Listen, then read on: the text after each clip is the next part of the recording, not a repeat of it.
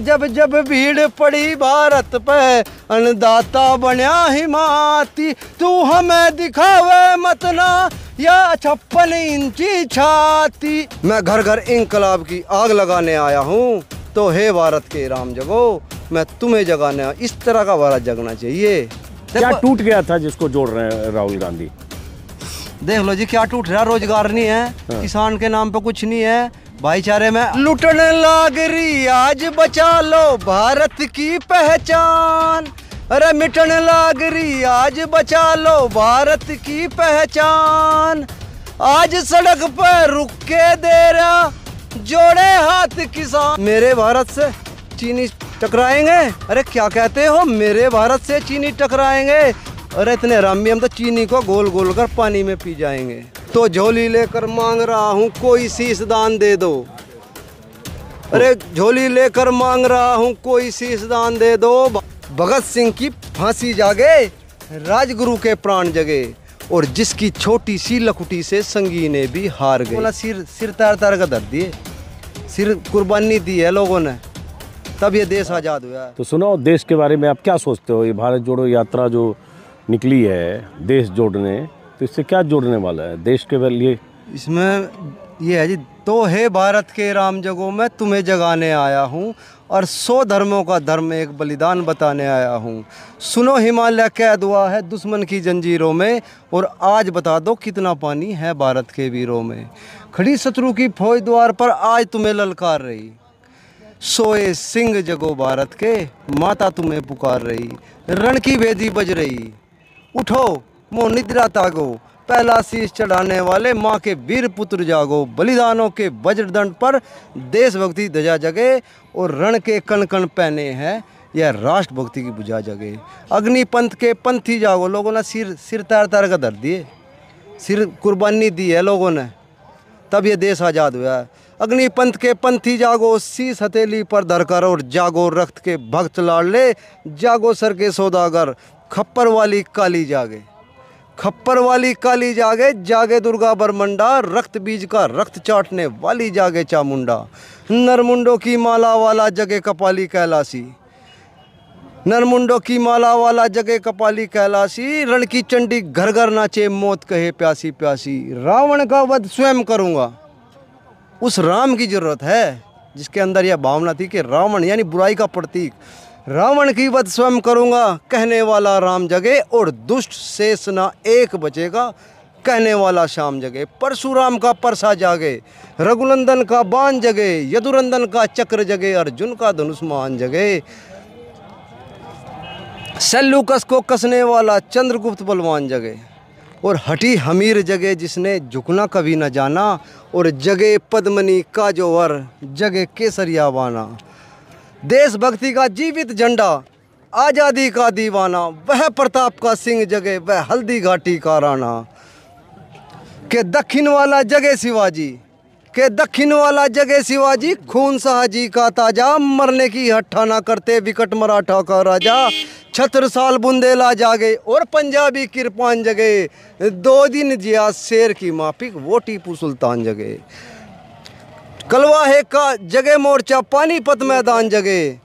भगत सिंह की फांसी जागे, राजगुरु के प्राण जगे। और जिसकी छोटी सी लकुटी से संगी ने भी हार गई। कौन? महात्मा गांधी।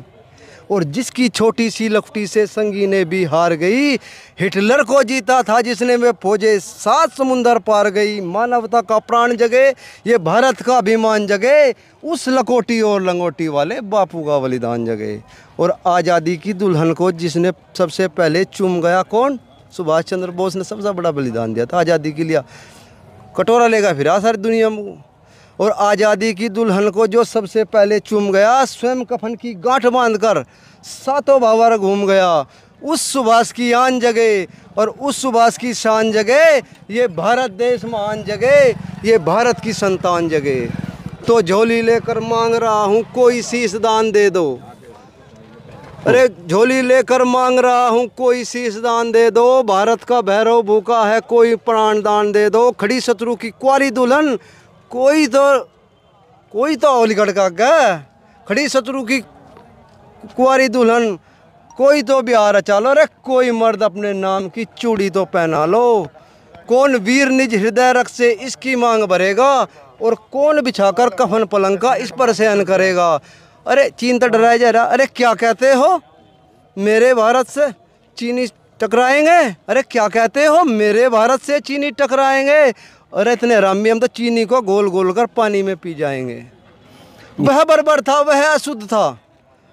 वह बर्बर था, वह अशुद्ध था, उसको हमने शुद्ध किया और हमने उसको बुद्ध दिया था।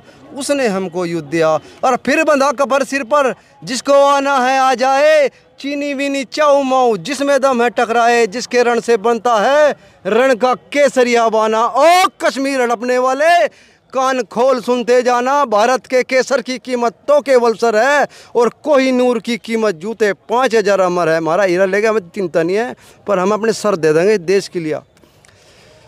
रण के खेतों में छाएगा, जब अमर मृत्यु का सन्नाटा, लाशों की तब रोटी होगी और बारूदों का आटा। सन सन करते वीर चलेंगे, जो फानी से फन वाला फिर चाहे रावल पिंडी वाला हो, चाहे बीजिंग वाला, जो हमसे टकराएगा, वो चूर चूर हो जाएगा।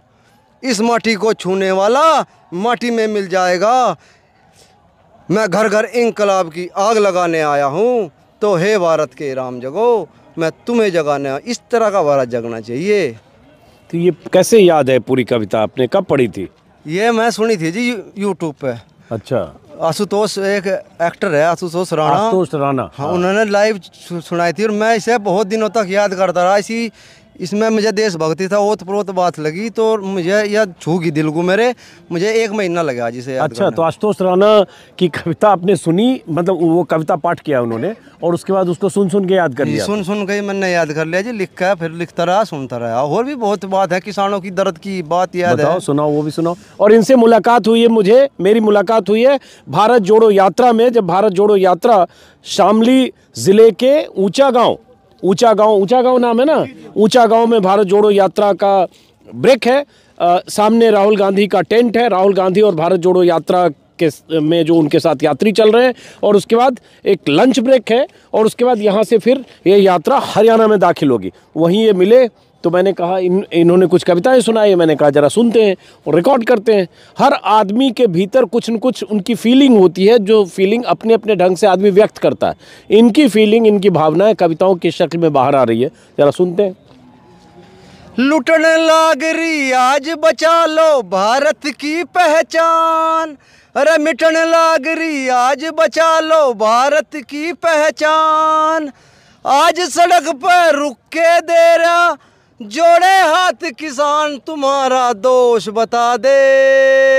है क्यों खामोश बता दे?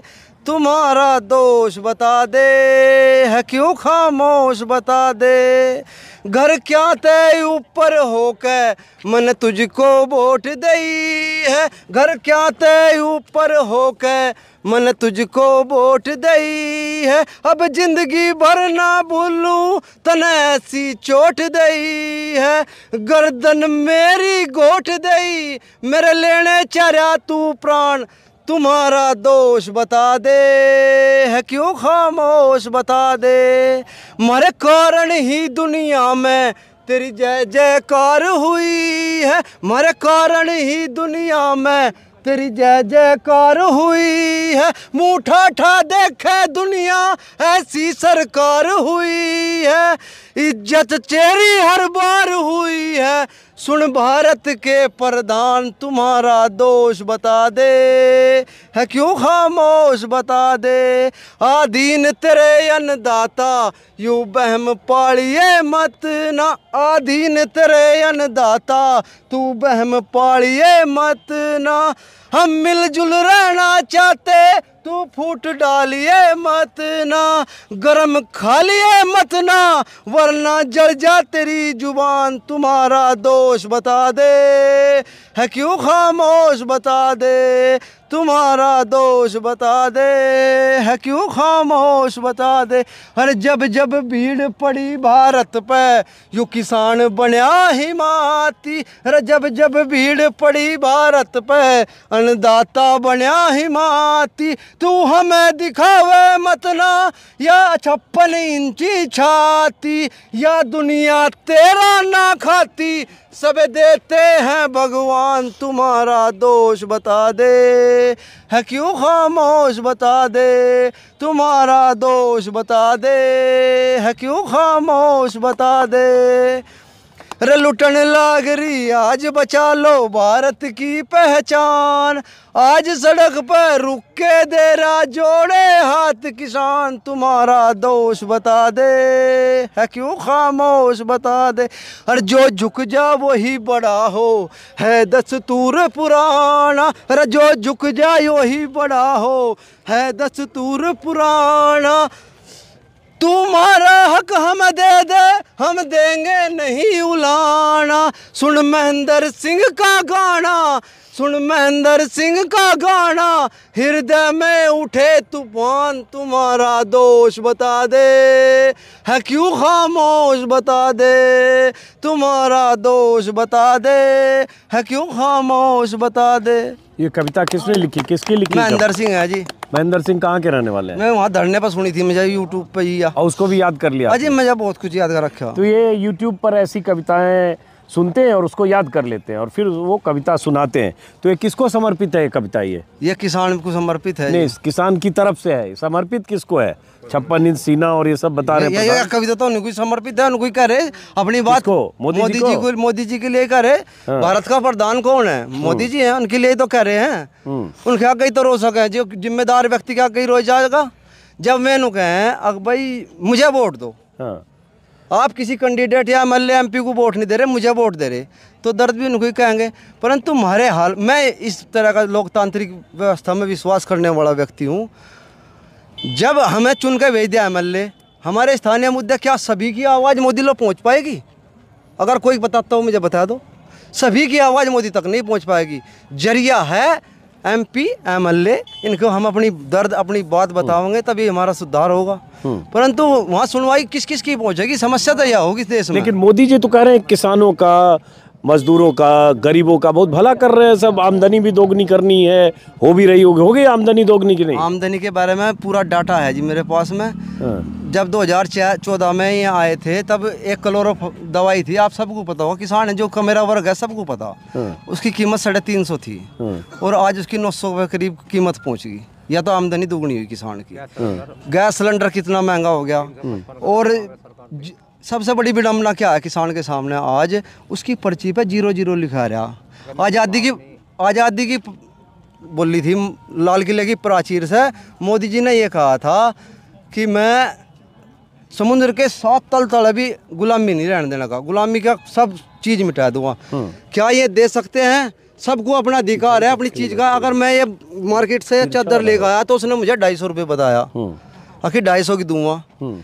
जहाज़ से लेकर सुई तक सबको अधिकार है अपनी कीमत का तय करने का। परंतु इस किसान की लचेरी इतनी सामने आ रही अब वो अपना कीमत का भाव भी नहीं खुलवा सकता। आज योगी सरकार पर हमला है जी। देख लो आप सबको पूछ लो पर्ची पर सबकी ज़ीरो ज़ीरो लिखा ना रहो। पिछला भुगतान पिछले साल का बकाया है। हम्म। अच्छा हालाँकि वादे उन्होंने किए थे चौदह दिन में हो जाएँगे अभी चुनाव के पहले भी अमित शाह और ये सब कर रहे थे सुरेश खन्ना तो इसी सुरेश क्या नाम है उनका जो नहीं सुरेश राणा जो गन्ना मंत्री यहीं के रहे। तो गन्ना मंत्री का क्या है? सबको पूछ लो। एक मंत्री पद पर रहते एक विधायक का टिकट नहीं जीत पाते हैं लोग। जब कुछ लोग धरातल पर काम नहीं करेंगे मंत्री होने का मतलब तो बहुत बड़ी चीज़ हो। मैं विधायक का सीट नहीं जीत पाते तो कितना बड़ा नुकसान है? और कोई कविता है मोदी जी के लिए? मोदी जी के लिए तो बहुत है जी महँगाई के ऊपर है। सुनाओ। रागनी है पूरी। सुना दो महँगाई पे भी रागनी। भाई तड़के देगा और राम जी। भाई तड़के देगा और राम जी तो तान बजा ले ईब की। बरके बुझोगे महँगाई ने, कड़ तोड़ दी गरीब की, कड़ तोड़ दी गरीब की। हा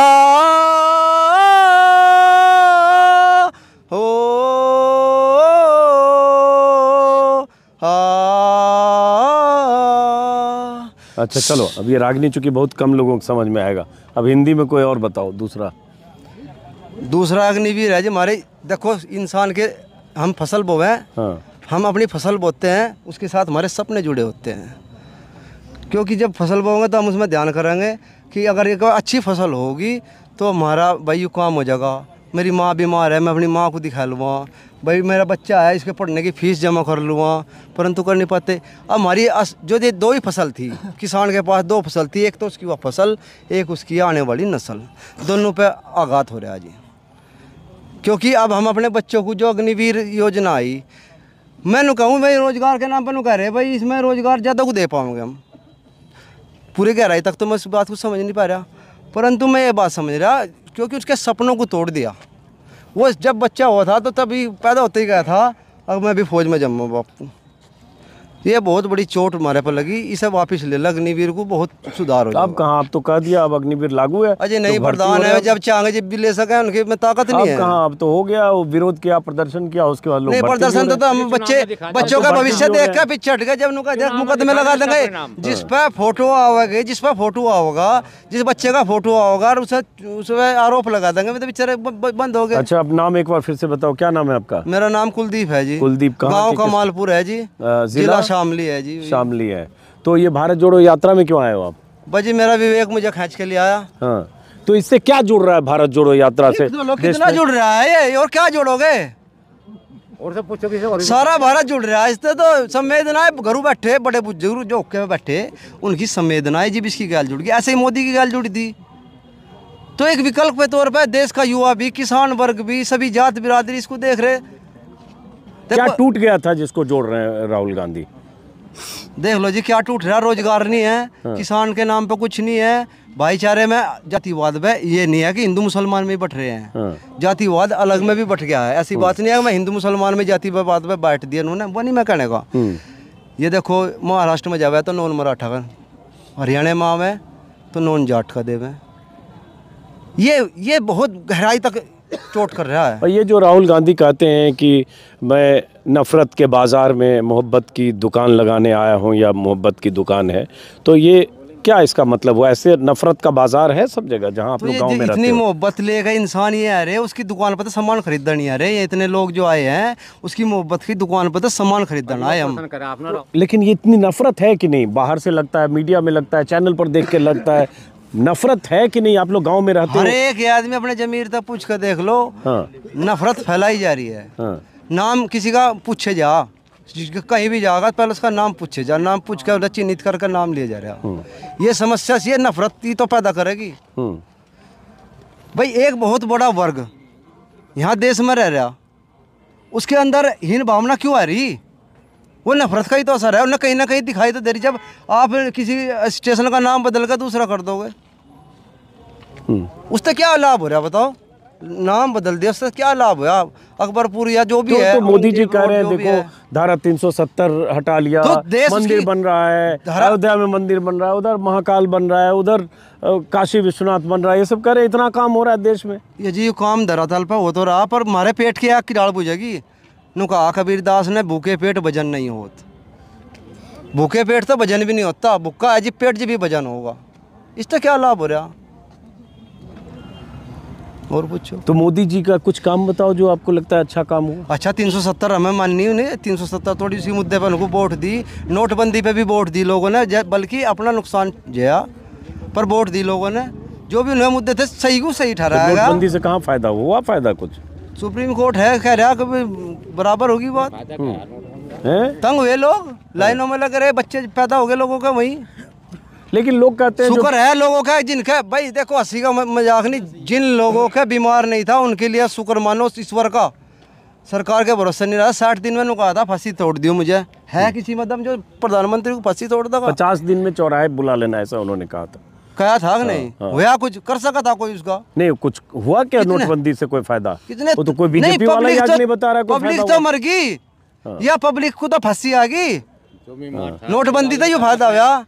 नोटबंदी नहीं घोटबंदी थी वह घोटबंदी कहूँ मुझे गर्दन घोटने वाली बंदी थी। ज़बरदस्ती लोगों पर थोप दी गई थी। बिना बताए बिना सतर्क करे कुछ भी कुछ तुरंत कर दिया। ऐसे नहीं देश चलता। और कोई कविता है?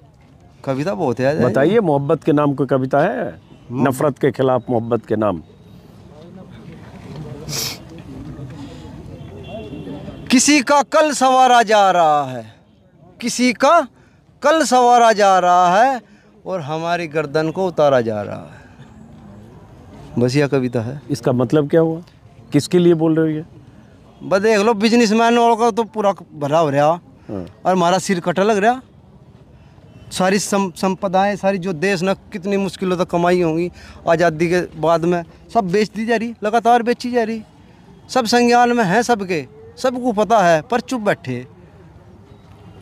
चुप बैठने वालों का देश नहीं है ये। ये देश उनका है जब महात्मा गांधी जी और जब पूरी दुनिया में एक छत्र राज था ब्रिटिश हुकूमत का दो ही मुल्क बचे हुए थे। हम्म। जिन पर राज नहीं था। हम्म। और वहाँ जाकर जब उसने कहा था भाई प्रोटोकॉल मेंटेन करियो। गांधी जी, ऐसे अदनंगे ना चले जियो, उनके पास। बोले, नहीं, मैं जम्मा अलग सा कोट दिया उनको, पहनने के लिए। अभी से पैर का उसके सामने पेश हुई परंतु वो बंदा, वो वो छप्पन इंची नहीं, एक सौ छप्पन इंची सीना। ऐसे ही गया था और उसने पूछा, इतने बड़े साम्राज्य के मालिक ने? अक भाई ये अदनंगा आ गया आप लोग कपड़े भी नहीं पहन रखाए बोले मेरे कपड़े तो आपने खरीद लिए मैं कहाँ से ले आता ये? ये देश उस भावना से बना हुआ है। ये आपने कुमार विश्वास का सुना होगा। हाँ जी चलो जिसका भी सुना? सुना। उन्हीं का सुना ना चलो वीडियो में? जिसका भी सुना है तो है नहीं मैं सही है। मैं पूछ रहा हूँ। हाँ नहीं सुना है परंतु हकीकत तो है ये। आप हाँ। मेरे चलिए तो ये ये ये आप खेती करते हो किसानी करते हो? बिल्कुल पच्चीस बीघा काशकार हो जी सीधा छोला हूँ खेती करूँ अपने आराम से। अच्छा।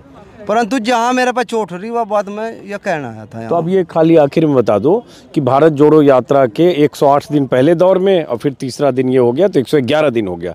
तो इससे क्या लग रहा है जैसे यूपी में ही बात करें योगी आदित्यनाथ का भाषण यही हुआ था ना गर्मी उतार देंगे और इस तरह के बहुत सारे भाषण चुनाव में हुए थे उसके बाद ढाई सौ से ज़्यादा सीटें भी मिली नफरत की बात बहुत हुई होती रही कैराना में ही बहुत हुई है पहले घर घर door to door campaign Amit Shah ने कैराना में ही किया। बहुत कुछ कहा गया बोला गया है। तो ये सबसे बदल रहा है कुछ? या ठीक है एक भारत जोड़ो यात्रा है इस गाँव में रुके टेंट लगाया चार पाँच घंटे बैठे कुछ लोगों ने बात की बात फिर वहीं ख़त्म। नहीं ख़त्म नहीं हुई जी। इस तरह शुरुआत हो रही। देखो जब ये उनता चले सबने कहा कि वापस चले जाएँगे। दो दिन में वापस चले जाएँगे तीन दिन में वापस चले जाएँगे। तो वे जब उनता चले तो भावनाएँ जुड़ती जुड़ती आज इतनी जुड़गी बहुत लोग जुड़ते जा रहे हैं और इसका राजनीतिक लाभ भी होगा कोई ऐसी बात नहीं है। लाभ तो ज़रूर होगा उन्हें कुदरत उन्हें अगर वे सच्चाई पर चलेंगे और लोगों के दर्द को जो भी समझेंगे भाई देख हम मोदी जी तो खिलाफ तो नहीं है सीधी बात बता रहे खिलाफ कतई नहीं है परंतु जब हमारा दर्द होगा हमारा दर्द हम सहन करेंगे उसे सुनने के नहीं में किसके अगर होंगे हम? चलिए इस वीडियो को ख़त्म करते हैं। बुरा ही मानना है। बुरा मान जाते हैं ना? हमसे लोग बुरा मान जाए बुरा मान जाते हैं। आप मोदी जी के समर्थक होंगे बुरा मान ही जाएँगे आप आलोचना कर रहे हो। चलिए बहरहाल इस वीडियो को खत्म करते हैं। फिर मुलाकात होगी भारत जोड़ो यात्रा में हो सकता है मैं अभी कुछ दूर और कवरेज के लिए चलूँ। हरियाणा में दाखिल होंगे राहुल गांधी। जैसा भी कुछ दिखेगा दिखाऊँगा ऐसे ही लोगों से बात करूँगा। फ़िलहाल नमस्कार।